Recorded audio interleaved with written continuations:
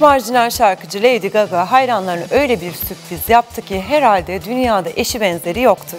İşte Lady Gaga'nın yeni imajı ve hayranlarına yaptığı büyük sürprizi.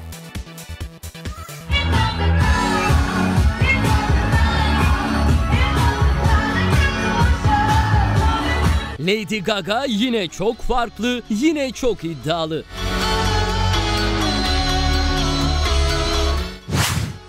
Önce yeni şarkısını canlı seslendirdi.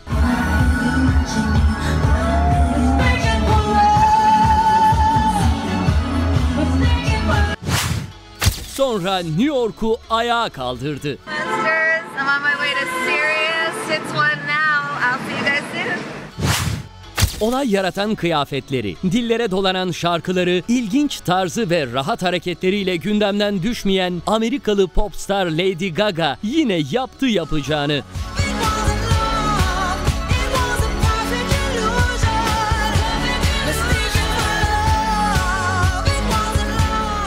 Yeni şarkısı Perfect Illusion daha çıkmadan milyonlarca sipariş aldı. Lady Gaga ise yeni şarkısının tanıtımında da sınır tanımadı.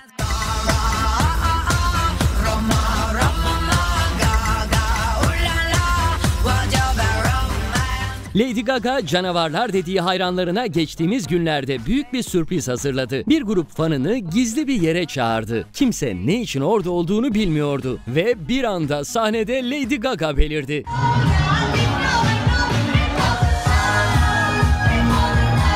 Yeni şarkısı Perfect Illusion'ı ilk kez bu gizli partide bir grup hayranına canlı canlı söyledi Lady Gaga. Ama sürprizleri bitmemişti. Monsters. I'm on my way to Sirius. It's one now. I'll see you guys soon. Sahnedeki çılgın giyim tarzını sokağa yansıtmaktan çekinmeyen Lady Gaga radyoya işte bu kıyafetle geldi. Sol tarafında kendi ismi yazan beyaz kısacık bir tişört, miniden de mini siyah bir şort ve tabii ki yüksek topuklu meşhur botları. Don't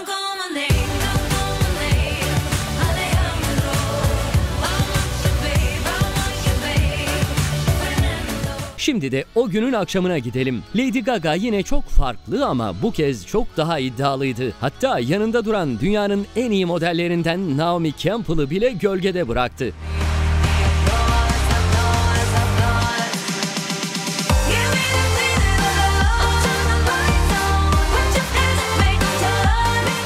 Alışılagelmişin çok dışında bir tarz yaratmıştı Lady Gaga. Abartılı makyajını silmiş, süslü güneş gözlüklerinin yerine siyah çerçeveli numaralı bir gözlük takmıştı.